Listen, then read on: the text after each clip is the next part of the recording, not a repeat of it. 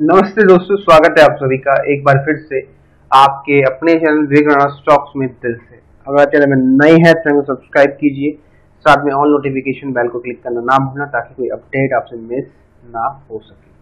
साथ आप हमें टेलीग्राम टू इंस्टा फॉलो कर सकते हो, सभी लिंक्स आपको नीचे मिल जाएँगे। दोस्तों, यस बैंक शेयर के लिए काफ़ी बड़ी खबर निकल के आ रही है। एक वैनगार्ड फंड है यूएसए का। सेवन ट्रिलियन डॉलर का मैनेज करती है फंड और इसने यस बैंक शेयर में 36 करोड़ शेयर्स बाय करे हैं। बारह रुपये निन्यानवे पैसे के भाव में। दिखाता हूँ आपको। तो दोस्तों, आप देख सकते हो 17 मार्च 2022 को द वैनगार्ड फंड ने ऑलमोस्ट यस बैंक में 36 करोड़ शेयर्स बाय करे हैं, बारह रुपये निन्यानवे पैसे के भाव में। और इन्होंने सिर्फ़ इसी स्टॉक में नहीं, हमारे इंडियन स्टॉक मार्केट के बहुत सारे स्टॉक्स में बाय करा है। दिखा देता हूँ आपको। यहाँ पर देख सकते हो सत्रह मार्च को इन सभी स्टॉक्स में इन्होंने बाय किया है। एंड दोस्तों, ये फ़र्स्ट टाइम नहीं है कि किसी पैनी स्टॉक पे इतना बड़ा पैसा इन्होंने इन्वेस्टमेंट किया है। इक्कीस रुपये के भाव में ऑलमोस्ट दो इक्कीस में इन्होंने आलोक इंडस्ट्री को भी बाय किया था। और आज तो दोस्तों, बात करने वाला हूँ यस बैंक शेयर की लेटेस्ट अपडेट के बारे में और आरटीजी शेयर के लेटेस्ट अपडेट के बारे में। तो वीडियो को आप अंत तक देख सकते हो अगर आपको जानना है दोनों स्टॉक के बारे में मेरा व्यू राइट यस बैंक के बारे में आपने देख लिया छोटी सी क्लिप और यही क्लिप आपकी आईटीसी में भी एप्लीकेबल है, क्योंकि लास्ट मंथ ही आईटीसी के ऊपर हमने अपना विचार शेयर किया था। राइट तो यस बैंक पे देखो, आपको पता है कि जो तेरह रुपए का भाव था, वहाँ पर बड़े प्लेयर ने इन्वेस्टमेंट करी थी। तो तो यस बैंक पे ये जो टारगेट है, या इतनी अच्छी रिटर्न आ लास्ट वन मंथ पे, वो नेचुरल सी बात है। राइट और मेरे लिए तो देखो नॉर्मल सी बात है, इसका रीजन ये है कि क्योंकि देखो, अगर बड़े पैसे ने बड़ा पैसा जहाँ स्टॉक में आता है, ध्यान रखना, बड़ा पैसा जिस स्टॉक में आता है राइट वो स्टॉक डेफिनेटली भागता है। अब ये ध्यान रखना, ठीक है, बहुत सारे लोग अब अपने ऑब्जर्वेशन में स्टॉक को अब रख रहे होंगे। मतलब अब रिटेल स्टॉक को बाय करेगा, जो सबसे बड़ी गलती वो लोग करते हैं। तो आपको अब स्टॉक में बाय नहीं करना है। ये स्टॉक का फ़र्स्ट रजिस्ट्रेशन सत्तर रुपए था और सत्तर रुपए स्टॉक आ चुका है, ठीक है? अगर स्टॉक को आपको बाय करना है तो ये स्टॉक दोबारा जब नीचे गिरता है आपको चार्ट पे दिखलाऊँगा कि रजिस्ट्रेशन एरिया कहाँ पर बनता है स्टॉक का। तो आप लोग देख सकते हैं ऑलमोस्ट ये आपका 2021 का जो ये एरिया है, ये जो टाइम है, ठीक है ये जो टाइम है दो का, ये स्टॉक का बहुत तगड़ा वाला रजिस्ट्रेशन एरिया है। और यही स्टॉक ने फ़र्स्ट अपना जो टारगेट है वो अचीव करा दिया, जैसे हमने आपको बताया था कि स्टॉक सत्तर रुपए टारगेट आपको दिखा सकता है। ऑलमोस्ट दो साल लग गया सत्तर रुपये टारगेट आने में। ठीक है? अब आपको क्या करना है यहाँ पर? आपको बहुत सिंपल है, यहाँ पर आपको बाय तो बिल्कुल नहीं करना है। फ़र्स्ट आप समझ लो बाय बिल्कुल नहीं करना है। बाय अगर आपको करना है तो चौदह रुपए के आसपास स्टॉक को बाय करना। उससे पहले भूल कर भी मुड़ के मत देखना स्टॉक को। ये स्टॉक यहाँ से आप डिप मारेगा, और डिप मारेगा चौदह रुपए ही सपोर्ट लेगा। उससे पहले नहीं लेगा। हाँ अगर आपको बाय करना है तो ये प्राइस होगा अच्छा वाला। यहाँ स्टॉक को चेज करोगे तो भाई आपको बहुत तगड़े वाले नुकसान का सामना करना पड़ सकता है। उसके दो तीन रीजन है। रीजन नंबर वन क्या है? जो मार्केट है अभी आपकी ऑल टाइम में ट्रेड कर रही है और सबसे पहले जो गिरेगा स्टॉक यही गिरेगा, क्योंकि भैया तेज़ी आई है ना स्टॉक में। ठीक है तो देखो ये रजिस्ट्रेशन लगातार ये रजिस्ट्रेशन एरिया है फोर्थ टाइम ले रहा है। अगर इस बार ये रजिस्ट्रेशन कर लेता है मार्केट चांसेस हाई माफ़ी जैसे बहुत तगड़ा वाला डिप मार सकते तगड़ा वाला। ठीक है? क्योंकि ये देखो, लोगों को लग रहा है कि ये इस बार रजिस्ट्रेशन नहीं लेगा। ये निफ्टी का चार्ट मैंने खोला हुआ है। तीन, चौथा रजिस्ट्रेशन यहाँ पर ले सकता है मार्केट कभी भी ले सकता है। ठीक है? सत्रह, छह सौ, सात सौ, आठ सौ मैक्स होगा तो मार्केट जाएगी, नौ सौ मान के चल लो। और जैसे डिप मारेगी मार्केट में तगड़ी वाली करेक्शन आएगी, जो मार्केट को दोबारा से सोलह सत्तर हज़ार के रजिस्ट्रेशन में सपोर्ट एरिया के आसपास आपको जाते हुए दिखेगा। इसलिए मैं कह रहा हूँ मार्केट में अभी बाय करने का समय नहीं है। बाय करने का समय पंद्रह एक सौ के आसपास था।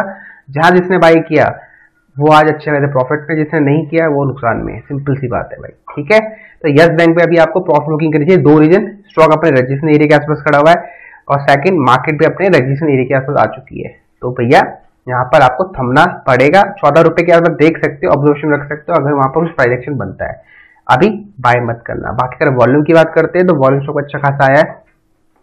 ठीक है? कल भी स्टॉक आपका गैप अप खुल सकता है। गैप अप खुलते आप स्टॉक को शॉर्ट मारना मतलब प्रॉफिट बुकिंग आपको देखने को मिलेगी। थोड़ा अब थोड़ा यस बैंक के बारे में वॉल्यूम एनालिसिस कर लेते, अठानवे करोड़ शेयर ट्रेड किए गए थे ऑलमोस्ट यहाँ पर देख सकते हो, उनतीस करोड़ शेयर लोग हले गए, तीस परसेंट डिवी स्टॉक उठाई गई है राइट तो मैंने आपको अपना प्योर प्राइस एक्शन स्टॉक में समझा दिया। पहले भी आपको अपडेट दिया तेरह रुपए में you can buy the dip ठीक है? तेरह में आप बाय कर सकते दस रुपये का आपका स्टॉप लॉस था। और वहाँ से दस सत्तर रुपये के हमारे इमीडिएट टारगेट जो अचीव हो चुके हैं। अब इसके ऊपर जाने का भी मुझे नहीं लगता स्टॉक जाएगा। चले जाएगा तो वहाँ पर आपको सिर्फ़ ट्रैप ही कराया जाएगा और कुछ नहीं कराया जाएगा। ठीक है? यही होता है स्टॉक मार्केट में। ठीक है? बाकी आपकी इच्छा, आपको बाय करना, आप कर सकते अब बढ़ते हैं आईटीसी शेयर के बारे में। हम सभी को पता है कि आईटीसी के नंबर लगातार अच्छे आ रहे हैं और उम्मीद के हिसाब से अच्छे नंबर हमने दिए। ठीक है? इसी वजह से स्टॉक में अच्छा खासा एक डिप आपको मतलब बाय की तरफ़ देखने को मिला। एक मोमेंटम आया और देखो यहाँ पर आज ना पूरा माल चेपा गया है। ठीक है? मतलब अब मेरे हिसाब से जो शॉर्ट टर्म हाई होता है ना आईटीसी का, वो हो चुका है। तो यहाँ पर अब आपको माल थोड़ा ना हल्का कर देना चाहिए, क्योंकि ये जो कैंडल बना है, बस समझ जाओ, माल यहाँ पर खत्म है अब। ठीक है आईटीसी का गेम गेम खत्म है। कल अगर आईटीसी ने अपना लो तोड़ दिया और कल गैप डाउन ना खुल जाए, तीन सौ आठ का कल अगर आईटीसी ने अपना लो तोड़ दिया तो आईटीसी की गेम खत्म है बस। अब जो इसका मोमेंटम है हाई की तरफ़, वो ऑलमोस्ट खत्म होने वाला है। खत्म होने वाला है खत्म हो गया है?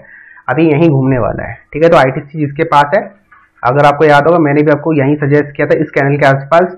यहाँ पर हमारा तीन सौ नौ, तीन सौ दस रुपए का टारगेट था तो अचीव हो चुका है। Almost more than ten percent return आ चुका है।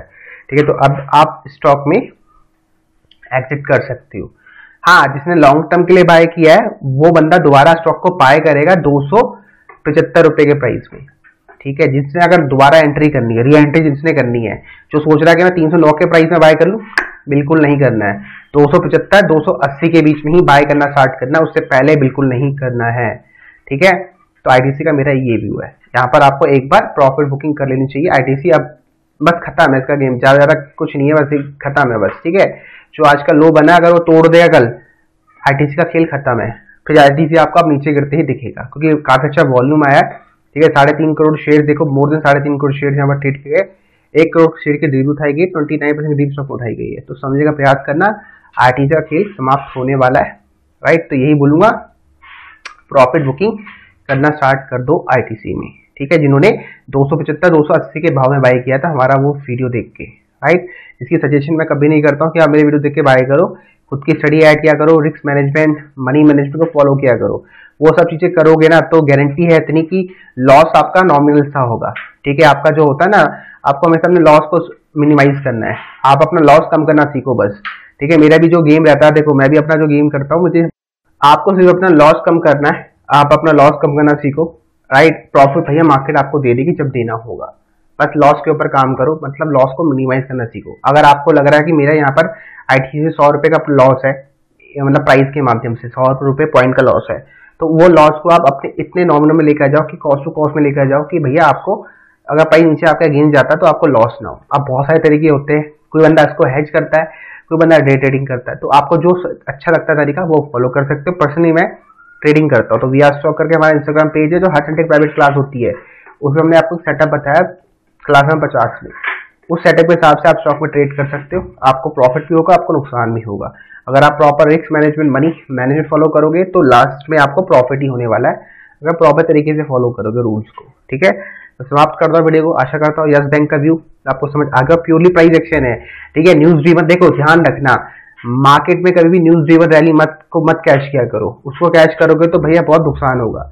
मैंने क्या बोला, जब बड़ा प्लेयर ने पैसा डाला था ना, वो बहुत कम लोगों ने उस न्यूज़ को कैप्चर किया था। क्योंकि रिटेल को वो न्यूज़ पता ही पता ही नहीं क्या है भैया, कौन है कौन है द वैनगार्ड फंड कौन है किसी को नहीं पता। ठीक है रिटेल को ये नहीं पता कि किसने बाई किया भाई ने बाई किया, किसने बाई किया। ठीक है, उसको ये होता है कि भैया क्यों नतीजे कैसे आए? राकेश जूनी ने पैसा डाला, बस वो चाहिए। वो सब होता नहीं है। ठीक है तो भाई आपको क्या करना है? न्यूज़ आने से पहले, जितना स्टॉक को कंप्लीट कर सकते हो, कर लो। जब न्यूज़ आउट हो जाती है तो आपको वहाँ पर सैली करना है। मतलब प्रॉफिट बुकिंग करनी है। अब आईटीसी एग्जांपल देख लो, क्या हुआ उसमें आज? गैप अप ऑलमोस्ट ऊपर खुला, ऊपर गया, थोड़ा ऊपर गया प्रॉफिट बुकिंग करी बड़ी लेवल में, और उसके बाद स्वा बट स्वा हो गया बस। शाम को नीचे की तरफ़ क्लोज कर दिया। देख लो आप, शुरू के मॉर्निंग के दस मिनट में काम तमाम कर दिया। तो यही होता है भाई। ठीक है रिज़ल्ट आए बजल्ट आए, कुछ भी आए। न्यूज़ जिस दिन आउट होती है, उस दिन प्रॉफिट बुकिंग होती है। क्योंकि भाई, समझो बात को, ये जो रैली ऊपर जाना स्टार्ट हुई है ये रैली यहाँ पर बड़े प्लेयर ने पार्टिसिपेट किया है। ठीक है, उनको पता था कि प्राइस ऊपर जाएगा नंबर अच्छा आने वाले उन्होंने कर लिया। अब देखो ना, अब सोचो जरा लॉजिक लगाना, दिमाग लगाना। द वैन कार्ड फंड ने तेरह रुपए के भाव में क्यों पैसा बाई इन्वेस्ट किया? उसको पता था कि स्टॉक सत्तर हज़ार रुपए जाएगा। क्यों? समझ जाओ फंड रेज की खबरें है। ठीक है तो उसको इंटरनल इंसाइट पता था। तभी उसने इतना बड़ा क्वांटिटी वहाँ इन्वेस्ट किया। तो ये तो कह रहा हूँ, बस ये छोटे छोटे जो इंसाइड होते हैं ना, आपको बस कॉपी करना है। ये थोड़ा कह रहा हूँ कि पैसा डाल दो वहाँ पर। फॉलो करो कि क्या हो रहा है। और मैंने एक ऑब्जर्वेशन करी थी द वैनगार्ड फंड की, आलोक इंडस्ट्री से करवाई थी मैंने। मैंने बताया था कि आलोक इंडस्ट्री में वैनगार्ड फंड ने लास्ट ईयर 2021 में सेम क्वांटिटी बाय करी थी, अठारह उन्नीस रुपए के भाव में। और आलोक इंडस्ट्री आपका अठारह उन्नीस से तैतीस रुपए तक गया था। मतलब उसने ऑलमोस्ट फिफ्टी सिक्सटी परसेंट का रिटर्न दिया था। तो मान के चलो इसने भी तेरह रुपए के भाव से ऑलमोस्ट चालीस पचास परसेंट रिटर्न दे दिया, जो बिल्कुल सेम स्ट्रेटजी बनती है, जो वैनगार्ड फंड ने आलोक इंडस्ट्री में अप्लाई की थी। और दोबारा आप आलोक इंडस्ट्री कहाँ ट्रेड कर रहा है? उसी प्राइस के आसपास। समझ गए? तो भाई हर व्यक्ति जो अगर वैनगार्ड फंड है कोई भी हो, वो अपना माल खाली करेगा। माल खाली कहाँ करेगा? ऊपर ही करेगा। ठीक है? तो यहाँ ऊपर करने के लिए उसको थोड़े और बकरे चाहिए। वो बकरे कहाँ से आएँगे? आप लोगों को फंसाया जाएगा। आपको बहुत सारी चीज़ें बताई जाएगी। अभी यस बैंक का ये होने वाला है। यस बैंक दो सौ रुपये जाएगा, यस बैंक तीन सौ जाएगा। वो जाएगा नहीं जाएगा वक्त बताएगा।